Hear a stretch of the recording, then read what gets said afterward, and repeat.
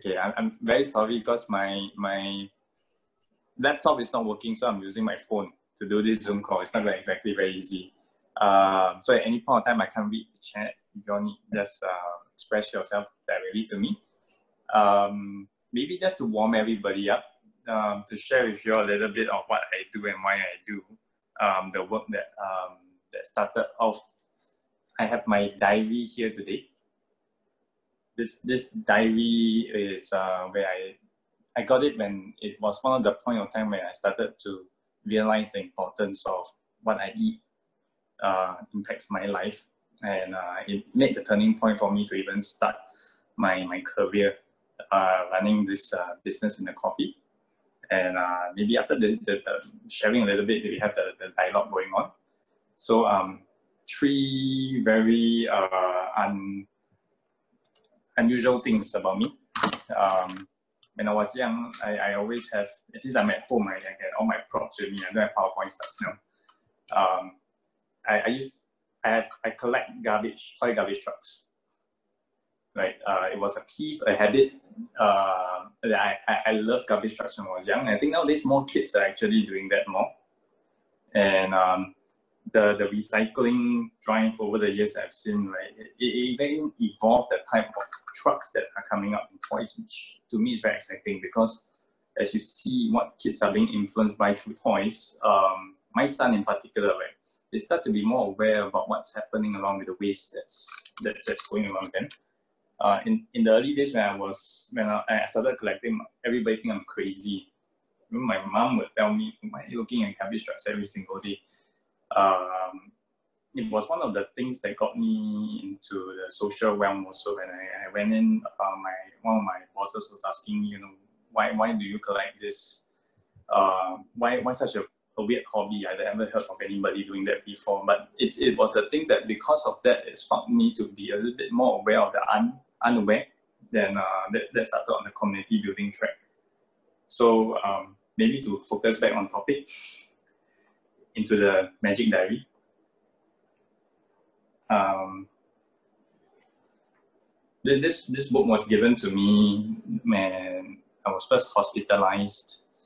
I think about four or five years back. Not five five years back actually. Um, my wife gave me this diary. I was actually in the hospital for two weeks. It's my me with my son. Now, Keegan, uh, back then was only about three two or three years old. So he, he can't really speak. Then when I was in the hospital, it was because of a cardiomyopathy. And uh, I, I started to learn that actually one in four people actually have this problem with their um, heart.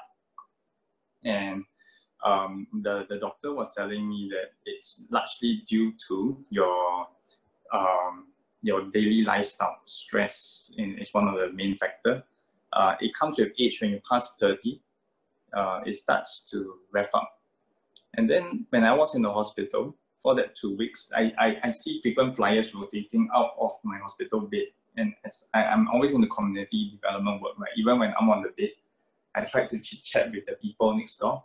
I try to walk out of my ward to talk to the people next door. Of course, now with COVID, we can't do that.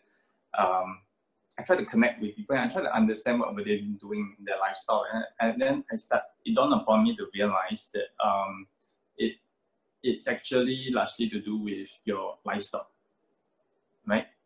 The, the, your, the things that you eat on the day to day. And one of the main factor that came in was coffee, because coffee is actually a trigger, caffeine.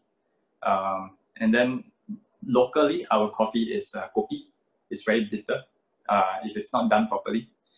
And now with uh, people adding in corn, green beans, many different kind of ingredients in just to, to, to bulk up the weight, right? It starts to create a need to add more sugar to sweeten the drink, milk to, to, to, to add to the flavor of the, the drink. And then you realize that actually everyone is drinking sugar, condensed milk.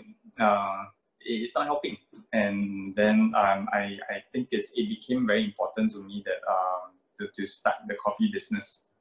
Now, the, the first inspiration that came to me um, when I was running the, the, the coffee business was to model after Lee. This, uh, Big Shot Coffee, that you all see the logo, the man, he's not me. It's actually the guy I last arrested when I was a police officer. So shortly before I actually shifted my, my job to the social sector, I was a cop doing community work. I went around the neighborhoods to make friends. Um, surprisingly, Lee is actually the, I don't know, everybody heard about Alung San? The last, is a, he was a very legendary loan shark in the old days. Um, like a Robin Hood of your Singapore times in the 80s. So they, he bribed a lot of police officers. Um, there was a mass crackdown. Um, Lee was actually one of the one of his henchmen, his closest henchmen with him. And um, as I was as I brought him in, I, I learned that it was one of his um, he was actually selling contraband cigarettes um, in my entire town. He was the peddler, but he, he runs on a bicycle around. And along with it, he, he used to be a heroin addict.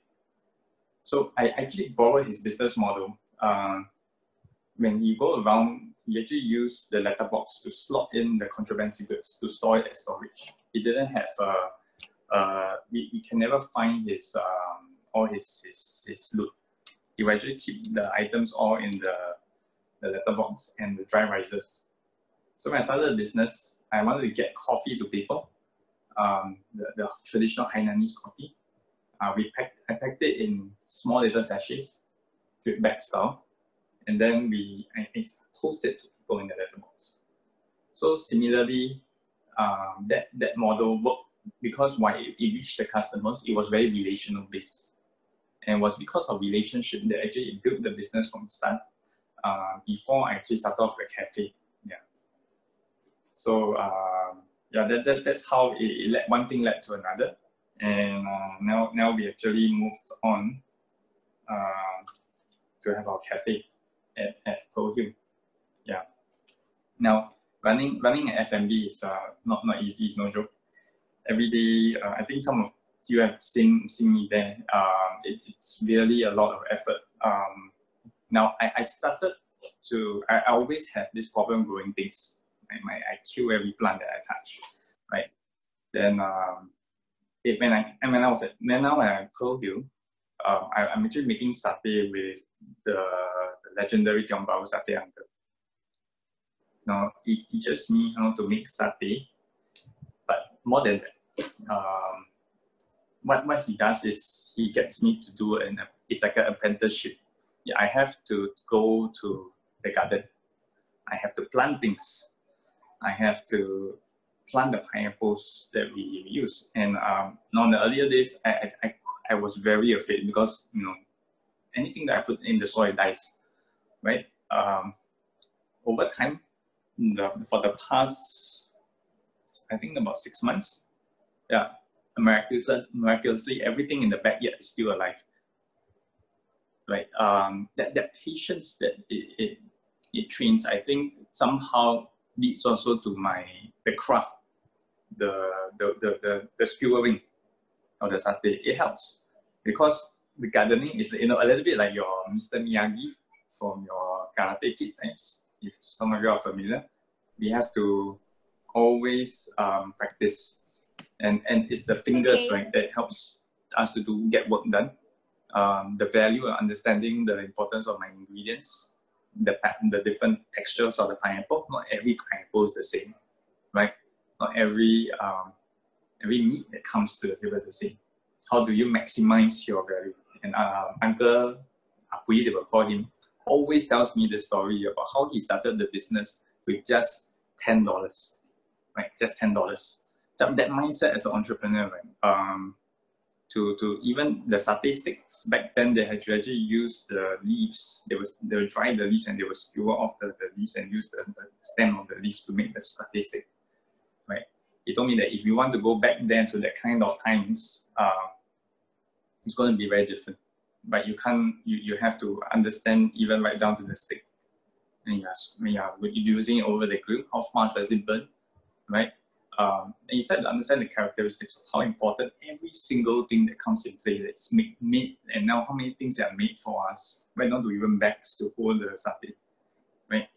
Um, so yeah, that, that's kind of my my journey so far that I've spent. Um, so maybe I shouldn't talk so much. We can have, a maybe more more dialogue, hear more from you guys. Uh. So yes, yeah. So please uh, fire away.